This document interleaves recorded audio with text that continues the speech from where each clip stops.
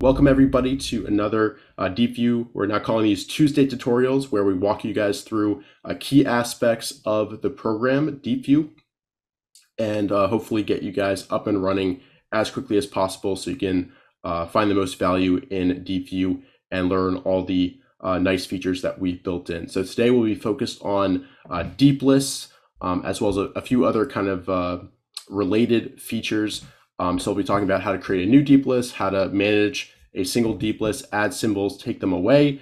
Um, and also uh, there's a few things in Screener that's related uh, that we'll get into. But just starting in the Screener, uh, we'll show how to add stocks from a particular screen, uh, create a new deep list from the Screener, and all that. So right now I'm in the Deepvue Universe screen. We're on the Screener module. And what you want to do, for instance, when you're going through names either on uh, during your daily routine or weekly routine, you find stocks that you like, you would just kind of check them as you're going through the results. And then we've got this plus icon right here. Clicking that, you can either add the symbols to an existing screen, um, or you can actually create a whole new deep list from this here. So you can see all the deep lists if you scroll here that I currently have created in the platform. Uh, but you can also, of course, create a new deep list here. And we'll go ahead and name this tutorial and 9, 5. So let's go ahead and create that. And let's go ahead and click plus again. And there you go. There is tutorial 9.5. There's zero stocks in there. But when we click that, uh, you can see there's a confirmation, me confirmation message and those stocks have now been added to that deep list. Uh, now you can, of course, continue to go on and, and add more stocks as you go. We'll go press plus again. There's three stocks now in here and we'll add those as well. So that's kind of that workflow, creating a deep list right from the screener, and then using the bulk selection tools uh, to add symbols to that list. And of course, we're going to dive into the actual module and talk about how to add symbols from that itself. Um, but first, I do want to highlight kind of special deep lists within Deepvue that we have built in the platform uh, that kind of add additional functionality as well as help keep you organized uh, throughout the day and it's really helpful. You might notice that around the logo of some of the stocks, there is a, a color band here. We've got teal over here.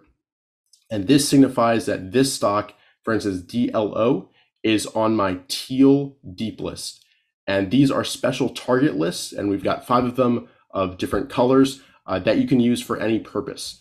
And what you're able to do in Deepvue is click the around the symbol of any stock, click this, and then quickly assign it a different color, red, yellow, uh, teal, blue, or purple. Um, and you can quickly assign this one to the purple group. You can also switch it to the red and uh, go ahead and confirm that, move it to the red one.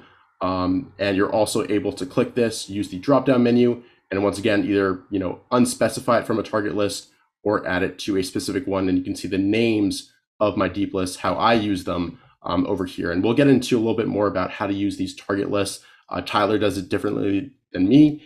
And kind of the purpose is, again, it's added functionality that allows you to customize Deepvue and make your routines more efficient. So quickly, if you know, uh, I want to add, I noticed that ARY, for instance, meets my uh, criteria for being a leader. I just go ahead and quickly assign it to that leadership list, and it's very fast and easy in, in just a few clicks.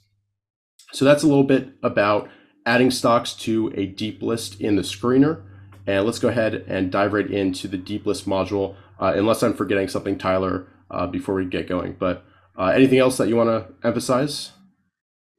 No, I think that's uh, it's a really great start. Um, and uh, like Richard said, I, I, use the flags a little bit differently, the uh, the color coding, but I'll cover sort of how I use that to stay organized a little bit more towards the end. Yeah, so let's go ahead and focus. We'll come back to the target list, but let's go ahead and focus on this deep list that we created in the screener. Uh, you can see that these are the names that are currently on this list. And say we want to edit the names on this list or add additional names to this list, what you'd want to do is click this plus button right here, and it brings up um, the symbols currently in the list, and you can easily search for another stock. Let's go ahead and add Tesla give it a check, and there you go. It's now on the deep list. And it's also uh, really easy to copy and paste symbols into this. So let's go ahead and write in the chat right here Uh, give me a few names that uh, you'd like to see added to this list. Give me, uh, let's do three or four here. Okay, UPSTLI, cool, cool. Uh, so I'm actually, uh, the chat's over on this computer, this is over here. So I'm gonna go ahead and uh, uh, let's see, how should I do this? I'll go ahead and open, oh, there we go. I'll open up the chat here, perfect. So uh, type type in one message, a few symbols. Type NVIDIA, IoT, Amazon, and there we go. Okay, IoT, PANW, and LI. Perfect. So I've copied a few symbols in here. I'll go ahead and do Command V. And you can see these were the automatic symbols that were added uh, from that string. And we'll go ahead and make sure those are checked and click Add. And there you go. They're automatically added to the deep list right here. So that's a quick and easy way. If, for instance, you see a list posted on Twitter or elsewhere on the web, uh, you can easily uh, bring them into Deepvue. Uh, and say you want to edit the names on this list, you can either click this plus sign and you know X them out. Let's get rid of LI and update, or you can of course use the bulk selection tools here and either delete. We'll do that. Here's a confirmation message. Um, or also, if you use the bulk selection tools, you can copy it to uh, your clipboard or add it to a different uh, deep list if you'd like to. Also, if you'd like to copy all the symbols in a list, you can click this handy button right here Again, these same options pop up if you'd like to do that, uh, but you can also go ahead and um, export these either to Twitter, to your clipboard, CSV, Excel, um, and uh, you've got all those options available to you. Now, I know I ran through that pretty quickly, uh, so I want to slow down a little bit. And, and Tyler, anything you want to reemphasize about managing your specific deep lists, adding symbols, deleting symbols, anything that uh, you found a lot of people um, have a little bit of difficulty with when they first get started. No, um, I'm glad that you, you covered the uh, the copy paste function. Um, it's super straightforward and makes bringing lists from other places right into Deepvue. There is no sort of complicated importing and making sure you know files are the right file type or anything like that. It's strictly just copy and paste the tickers. Deepvue will figure it out and give you the list, and then you can just quickly add them um, it it really speeds things up in bringing uh, bringing lists in from from other platforms or from Excel as an example. Yeah, so from Excel, uh, basically, if you've got a column that's just symbols, you'd want to highlight that column, Command C. Uh, you know, what what if you're on Mac, PC, whatever, copy those symbols in that column, and then again, you just want to go ahead and paste that in here, and View will figure it out, like you said. Also, when you share to Twitter, uh, we automatically add cashtags for you, so that's quite nice. That's a nice handy feature as well. Um, and let's see if there's any relevant messages here in the chat that I should be aware of. Um, screener. Okay, cool. Nothing super pressing here. So that's it when it comes to an existing deep list and managing stuff in there. Um, let's go ahead and create a completely fresh deep list in Deepvue and uh, talk through how to manage that one and add your initial group of symbols, which is pretty much what we already went over, but it's always good uh, to reemphasize. So in order to create a new deep list, you'd want to go to this drop down, drop down arrow over on the right hand side, give this a click, and then create a new deep list. Uh, let's go ahead and name this Tyler, just cause. And you can see we've now got that created. It shows up here on the left-hand side. And if we give this a click, you can see there's no symbols currently in here. Uh, so what you want to do to add symbols to this list is you can either click this button or this button. They'll bring up the same um, pop-up that we used before. And let's go ahead and add Tesla, Amazon, and Tyler, since it's your deep list, give me give me one or two extra names to bring on here. Uh, I'll put uh, UPST since we were talking about it earlier. Uh, what else? IONQ. I think IONQ. people have been watching. Yeah, sounds um, good. What else is out there? That's good enough, I think. That's probably good that, enough. That proves the point. Yep. And uh, taking a step back and just looking at the deep list module, I should have done this from the beginning. When you navigate here, you'll notice that the deep list that you have already created, and we have some that are created for you, are in these tabs up here and are very easily accessible. So for instance, if I want to go to my daily focus list, uh, list, I just give that a click. I can also scroll back and forth. And on Windows, it would be a shift and then scroll bar. If, if I'm correct, Tyler, I'm currently on a Mac. Uh, so it's really nice and easy to quickly navigate between uh, deep lists here. Uh, you just basically click the tab you want. Um, and uh, that's always a very handy feature. Uh, you can also go ahead and rename this. So I'm going to go ahead and rename Tyler to Richard. I'll take control of this one here. And that's even true for the target list. So let's come back to the special list that exist here in Deepvue that are your target lists. You can call them color lists if you'd like. Uh, these are the ones that are red, yellow, uh, teal, blue, and purple. Uh, so these uh, by default are named those colors. Um, I've changed the names to kind of suit the purpose that I use them for. So the red list, I set this as my kind of daily focus list. Uh, the yellow list is my weekly focus list, and this wide list is kind of you know my universe for that week, so even wider than my weekly focus list. So it's really handy to navigate back and forth between these um, throughout the week, and I'll, I'll move stocks around uh, depending on on price action. Then I use my blue list to kind of designate as my leadership list, the stocks that I deem kind of the leaders. And then lastly, I've got a uh, thematic ETF list, which kind of helps me track rotation. I like to sort this by price percent change today. You can see what's moving up and down as well as uh, volume coming in. So that's kind of my system for using uh, these colored lists. Um, I'll, I'll ask Tyler in just a second how he, he uses it, but the the possibilities here are kind of endless.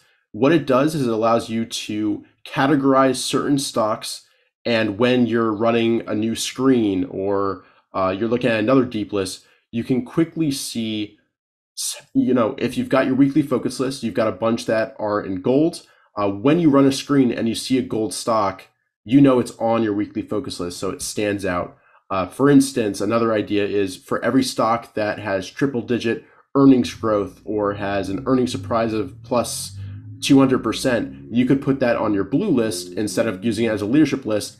And then every time you run a screen and you see a stock uh, has you know blue around its logo, uh, you would automatically know, even without looking at the fundamental growth here, that it has standout earnings growth or an earnings surprise.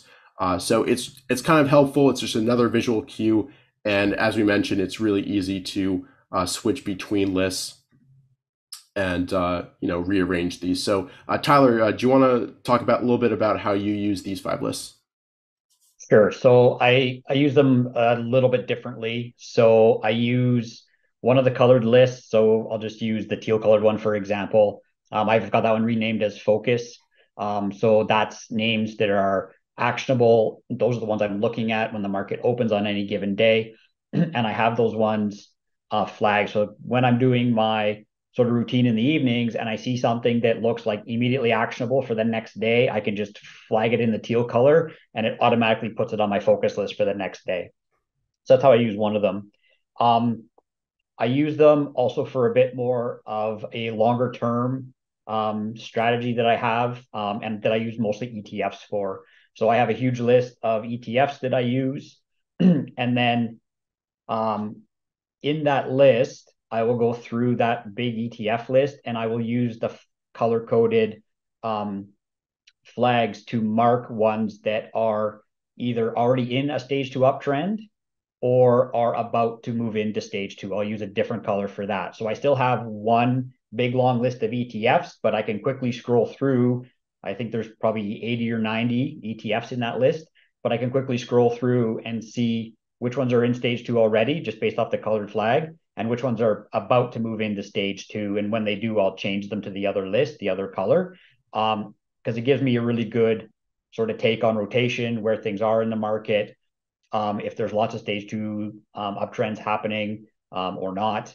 Um, so it just gives you a really good snapshot of sort of where things are on a broad perspective. So that that's the other way that um, that I use them. And then the third way is is very similar to Richard, where on the weekend routine where I'm looking at a longer, bigger, wider um, screening routine on the weekend, I will use that um, a fourth list in my screener to just quickly flag things as I'm going through that I want to look at in more detail. And then I will go to that color coded list that, you know, on a Sunday night might have you know 20 or 30 names on it that I've flagged through my weekend routine. And then I'll go through and start closing those out and getting rid of them as I do sort of more detailed analysis on the chart and then either move them to my focus list or a different watch list. So um, I use it both for marking sort of stage two uptrends or things that are about to move into that um, for my focus list, and then for sort of the funnel system of getting from a screener down to a wider watch list and then down to a, a focus list.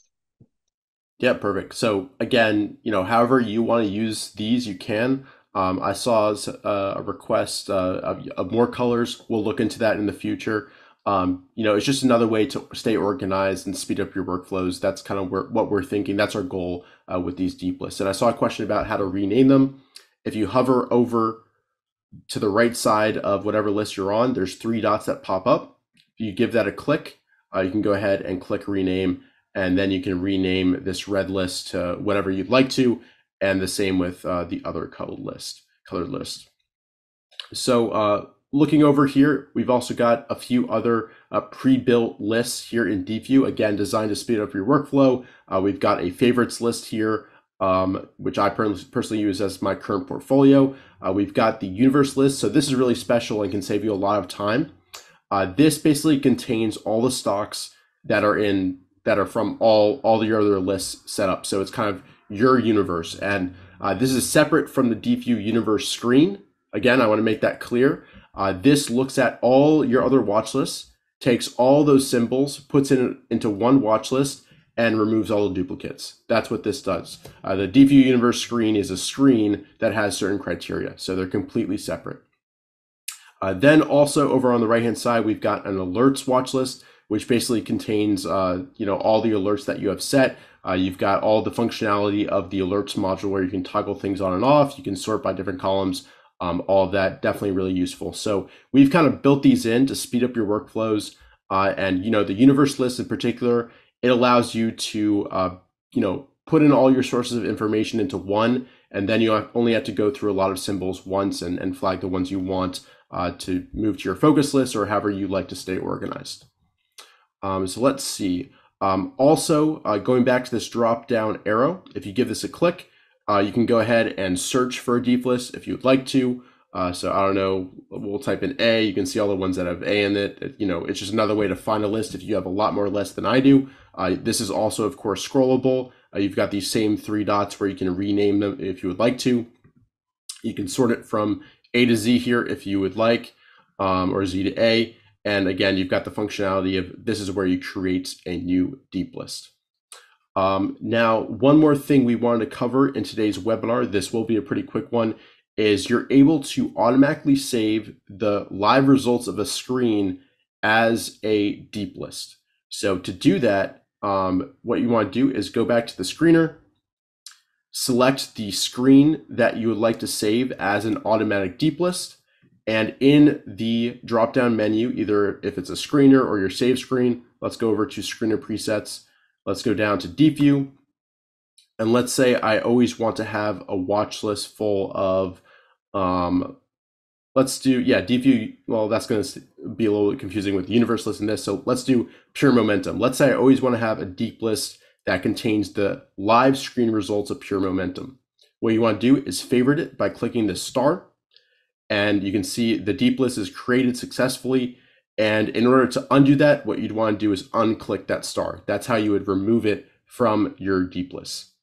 But now, going over to deep lists, we've automatically got a pure momentum watch list that has the live results of that screen. So again, this is really handy uh, during your weekend routine. Uh, if you want to keep everything organized, uh, you can have a deep list dedicated to a particular screen results, and then you don't have to keep going back and forth between screens and watch lists uh, and do all that. So uh, that's pretty much the last key feature that we wanted to highlight.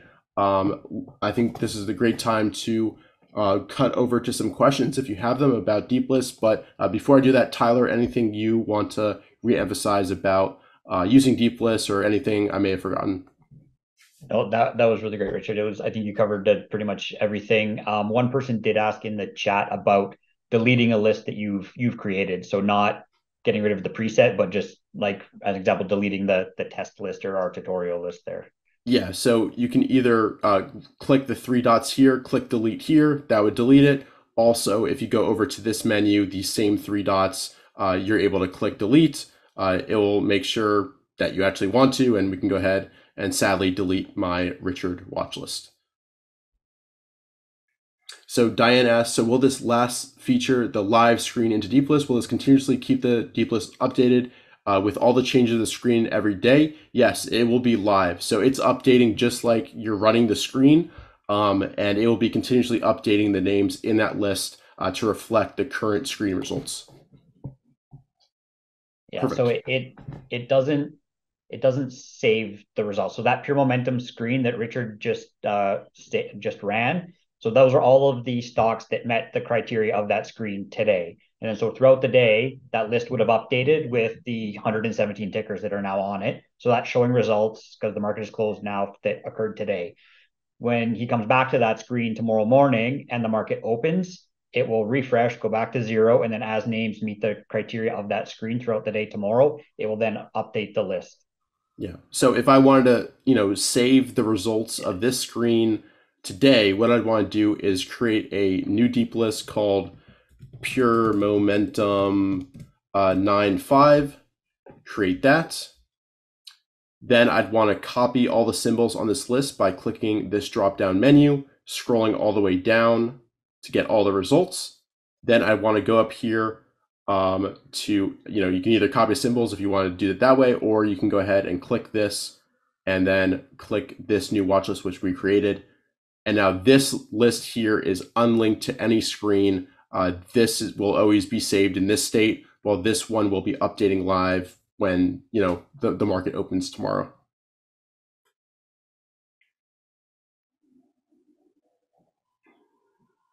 All right. Any other questions related to deep lists? This would be the perfect time to ask. Hopefully I didn't go too fast through everything.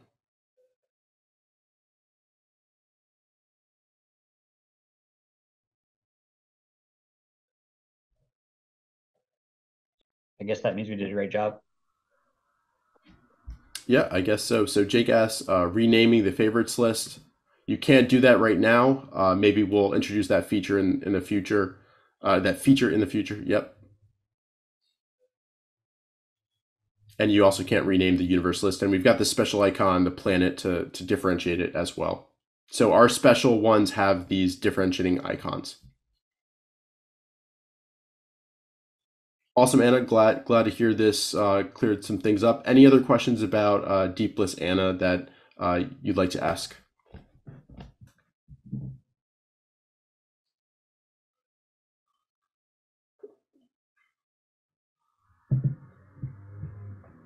Mickey, uh, all annotations should save automatically.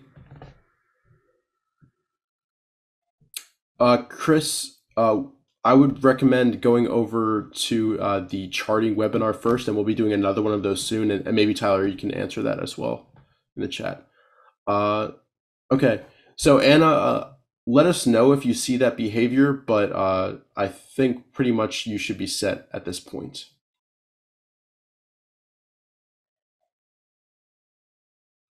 Gotcha. Okay, cool.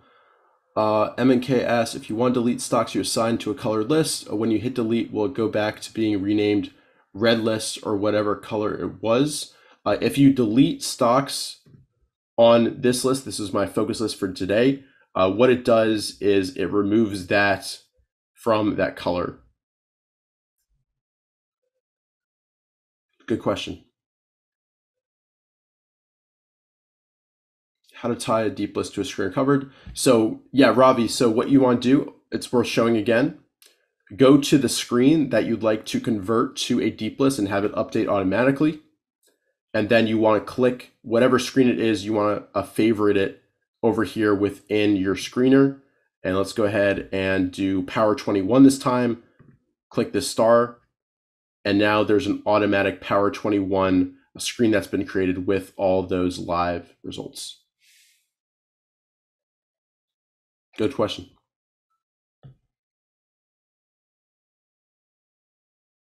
All right.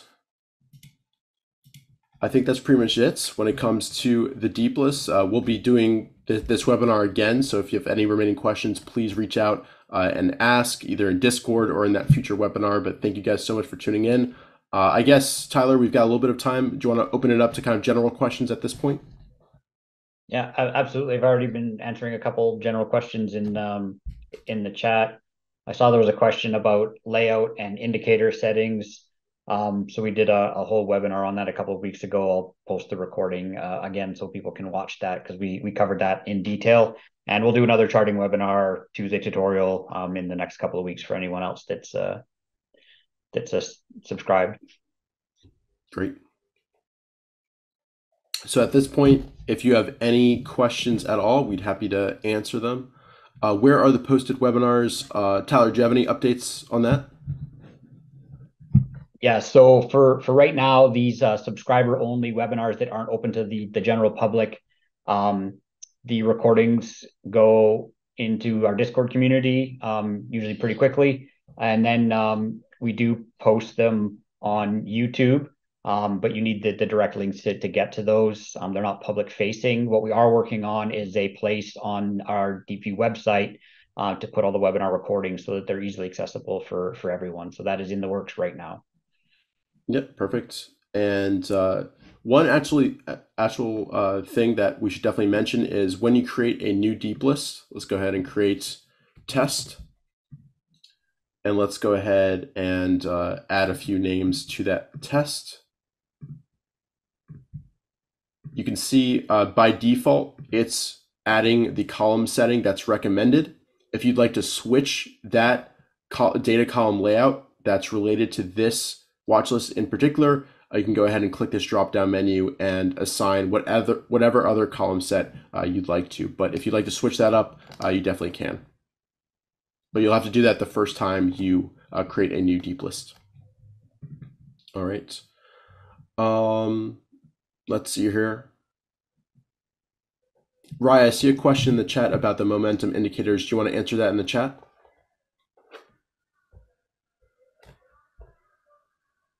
the breath indicators. Yes, Robbie, you can you can set uh, the column set uh, whatever column set you'd like to. Uh, you can assign it to each deep list. So you can have a unique one for for each Deeplist. Yep. Yeah, Jake, that's a good point. You can move them around by dragging and dropping, and yeah, we already showed the scroll functionality. Uh, it's definitely really handy to to navigate between each of these deep lists. So thank you, Jake. Yeah. So there's your answer on breath indicators. We've got a lot of cool indicators coming very shortly.